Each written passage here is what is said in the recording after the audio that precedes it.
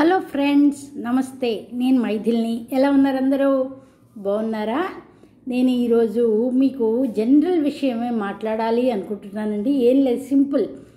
మన నేను గార్డెన్స్ పెంచుకోండి. భవిష్యత్ తరాల వాళ్ళకి ఆరోగ్యానికి ఇచ్చిన వాళ్ళు అవుతారు. అలాగే ఆదాయ మార్గాన్ని పెంచుకున్న వాళ్ళు అవుతారు. అలాగే ఆరోగ్యాన్ని వృద్ధి చేసుకున్న వాళ్ళు అవుతారు. అనారోగ్య సమస్యల నుంచి నివారణ కలుగుతుంది. అనవసరం ఖర్చులు ఆరోగ్యానికి అనారోగ్యం వచ్చినప్పుడు వాటికి పెట్టే ఖర్చులకి వల్ల ఆర్థికపరమైన ఇబ్బందులు రాకుండా ఉంటాయి అని ఇలాగే ఎన్నో విషయాలు చెప్పడం జరిగింది.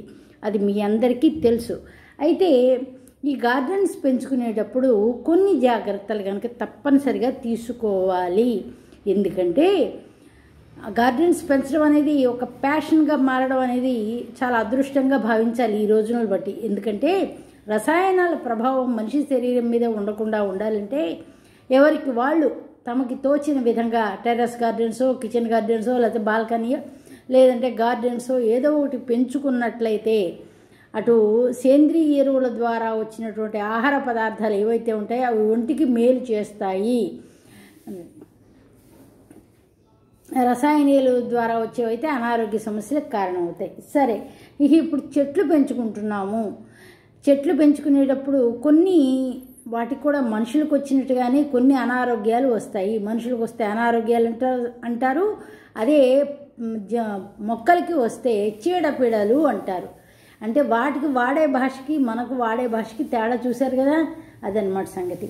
అయితే ఈ మొక్కలకి అనారోగ్యాలు రావడానికి కారణాలు ఏమిటి అంటే చెట్టుకు బలం లేకపోవడం ఒకటి గాలిలో వచ్చిన వైరస్ వల్ల ఒకటి తర్వాత క్రిమికీటకాల ద్వారా వచ్చే సమస్యలు ఒకటి.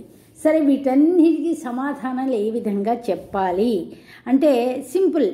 మనకు కావాల్సింది ఏమిటి మొక్కలు ఆరోగ్యంగా పెరగాలి మంచి దిగుబడిని ఇవ్వాలి. మరి అటువంటిప్పుడు మనం కొంత జాగ్రత్త తీసుకోవాలి కదా. ఇప్పుడు మనుషులకు ఎలా జాగ్రత్తలు తీసుకుంటామో అనారోగ్య సమస్యలు రాకుండా అలాగే మొక్కలకు కూడా ఎటువంటి అనారోగ్యాలు ఎటువంటి చీడపీడలు రాకుండా చక్కగా ప్రకృతి సహజమైనటువంటి మందుల ద్వారా అంటే నేచర్లో దొరికే వాటిని నేచర్ మీద తిప్పి ఇవ్వడం అనమాట ఎగ్జాంపుల్కి ఏమిటి అంటే వేపాకు అల్లం వెల్లుల్లి పచ్చిమిర్చి వీటి కషాయాలు తీసి మొక్కల మీద స్ప్రే చేసినట్లయితే కొన్ని అనారోగ్యాలు వాటికి వాటికి చీడపీడలు తగ్గిపోతాయి.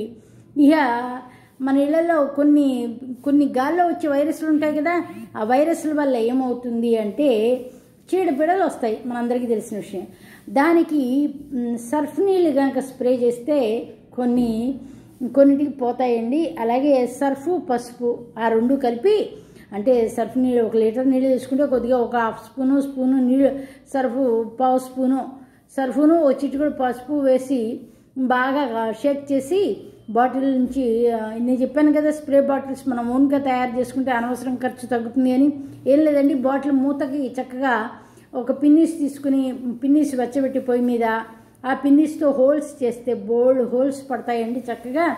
అది ఎర్రగా కాలిన తర్వాత పిన్నిస్ని ఈ బాటిల్ మూతకి హోల్స్ పెడితే మన ఓన్ స్ప్రేయర్ తయారవుతుంది. చక్కగా దాంట్లో మనకు కావాల్సిన లిక్విడ్స్ అన్ని పోసుకుని స్ప్రే చేసుకుంటే మొక్కలకి చక్కగా ఆరోగ్యం కుదుటపడుతుంది. చక్కగా పంట దిగుబడి వస్తుంది.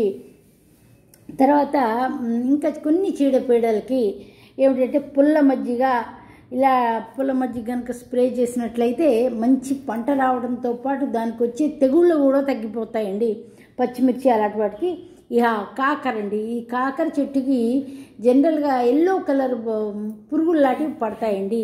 పెద్దవాళ్ళు వాటిని ఏమంటారు అంటే అక్షింతల పురుగు అంటారండి. అయితే వీటికి దీనికి సమాధానం ఏమిటి? మనకి ప్రకృతిలో దొరికేటటువంటి వాటిల్లో మనకి భగవంతుడిచ్చిన వరంలో ఆవు ఒకటండి. ఈ ఆవు మూత్రము ఆవు పేడ ఆవు పిడక ఆవు నెయ్యి ఇవన్నీ కూడా మొక్కలకి చాలా బాగా సంరక్షణ కల్పిస్తాయి. మనుషులకే కాదండి అలాగే మొక్కలకు కూడా కల్పిస్తాయి. మరైతే ఏం చేయాలి? ఏం లేదండి ఈ ఆవు పిడకలు మామూలుగా పొయ్యిలో కాల్ చేసుకుంటాం కదా పొయ్యిలో కాల్ చేసుకుందా. అంటే దాలి వేస్తారు. పూర్వం పద్ధతి ఏమిటి అంటే ఒక గొయ్యి తవ్వి అందులో పిడకలు పెట్టి ఈ ఆవు పిడకలు గేదె పిడకలు అన్నీ పెట్టేసి దాంట్లో కొద్దిగా నిప్పు వేసి రాజేసి దాని మీద పాలు పెట్టేవారండి. దాన్ని దాలి దాలి పొయ్యి అనేవారు. అది మెల్లగా కాగి కాగి ఒక రెండు అంగుళాల మందంలో మీగడ కట్టేదండి. కానీ పెరుగు చాలా రుచిగా ఉండేదండి. సరే ఆ పెరుగు సంగతి పక్కకు పెడితే ఈ పొయ్యి కాల్ చేసిన తర్వాత అదే ఇప్పటికల కాల్ చేసిన తర్వాత వచ్చే బూడిద ఏదైతే ఉంటుందో ఆ బూడిదని చక్కగా చేతితో నలిపేస్తే చక్కగా పొడైపోతుందండి. ఆ పొడిని చక్కగా ఒక బట్టలో వేసి వస్త్ర కాగితంలాగా మొక్కల మీద ఈ అక్షింతల పురుగు దేనికైతే పడుతుంది? కాకర చెట్టుకే కదా? ఆ కాకర చెట్టు మీద బాగా స్ప్రే చేసినట్లయితే లేదు అంటే వాటర్లో కలిపి స్ప్రే చేసినా చక్కగా ఆ పురుగు చచ్చిపోతుంది చూసారండి ఆవు పేడలో ఉండే సు- సుగుణాలు. అంటే ఎండి కాల్చేసినా కూడా దాంట్లో ఉన్నటువంటి క్రిమి కీటకాదులు ఏవైతే ఉన్నాయో అవి చనిపోవడానికి మంచి క్రిమి సంహారకంగా పనిచేస్తుందండి. ఇక వేపాకు రసం కూడా కలిపి స్ప్రే చేయించండి ఉదయం సాయంకాలం తోట పని చేసినట్లయితే ఎవరైనా సరే తోట పని చేసినట్లయితే శరీరానికి కావలసిన డి విటమిన్ అందుతుందండి.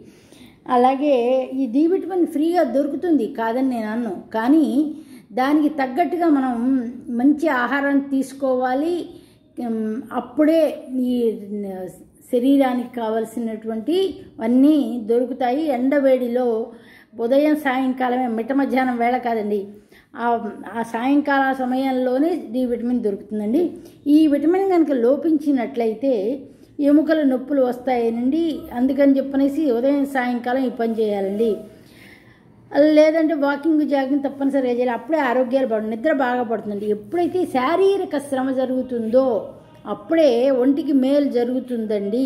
హాయిగా విశ్రాంతి కలుగుతుంది. అలసట మీద నిద్ర వస్తుంది. నిద్ర బాగా పడితే బాడీలో అన్ని ఆర్గాన్స్ సక్రమంగా పనిచేస్తాయి. పోషకాలు ఇవ్వడంతో పాటే మంచి శారీరక శ్రమ అనేది తప్పనిసరిగా ఉండాలి. ఇక దింప జాతికి చెందినటువంటి మొక్కలు ఏవైతే ఉంటాయో దుంప జాతి ఏమిటి? చామదుంప కంద పెండలం చిలకడ దుంప బంగాళదుంప ఇవన్నీ ఒక కొద్ది ఒక ఒక నైట్ నానబెట్టి చక్కగా మొన్నడు భూ- భూమిలో నా నాటినట్లయితే మొక్కలు తొందరగా మొలక వస్తాయండి. దీనికి కూడా అందుకే ఏమంటారంటే పెద్దవాళ్ళు దుంపల్ని తడపకూడదు అంటారు. ఎందుకంటే తడిపితే మొలక వచ్చేస్తాయి. మనకు కావాలన్నప్పుడు శుభ్రంగా తడుపుకుని మొక్కలు నాటుకోవడమే. అయితే ఈ చామదుంపకి బంగాళదుంపకి అంత నీరు ఎక్కర్లేదు కానండి. చేమదుంపకి చామదుంపకి నీరు ఎక్కువ కావాలండి. మురుగులా ఉండాలి దానికి. అప్పుడే అది బాగా వస్తుందండి. ఎక్కువ తడి ఉండేలా చూసుకోవాలి. అలాగే అరటి దుంపకు కూడా నీరు ఎక్కువ కావాలండి. అందుకే పూర్వం పెద్దవాళ్ళు ఏం చేశారంటే పెరటి తోటల్లో ఈ నీరు పారే చోట ఎక్కువగా నీరు పారే విధంగా అటు నూతి దగ్గర కానీ లేదంటే ఒంటింటి దగ్గర కానీ బాగా మురుగు వస్తూ ఉంటుంది. ఎలాగ వస్తుంది? ఒంటింట్లో వాడే నీళ్ళు ఉంటాయి కదా ఆ నీళ్ళ ద్వారా ఈ మొక్కలు పెరిగే విధంగా ఏర్పాటు చేస్తారండి. బియ్యం కడుగు నీళ్ళు పప్పు కడిగిన నీళ్ళు ఆకుకూరలు కడిగిన నీళ్ళు కాయగూరలు కడిగిన నీళ్ళు ఈ నీళ్ళన్నీ సరాసరి మొక్క మొదలకు చేరేటట్టుగా చేయడం వల్ల మొక్కకి బాగా నీరు అందుతుందండి. ఇటువంటి చెట్లకి నీరు తప్పనిసరి కావాలి. అటు సద్వినియోగం ఇవ్వాలి నీరు సద్వినియోగం ఇవ్వాలి. అలాగే మొక్కలకి నీరు అందాలి. ఆ విధంగా ఏర్పాటు చేసుకుని ప్లానింగ్ చేసేవారండి పూర్వం.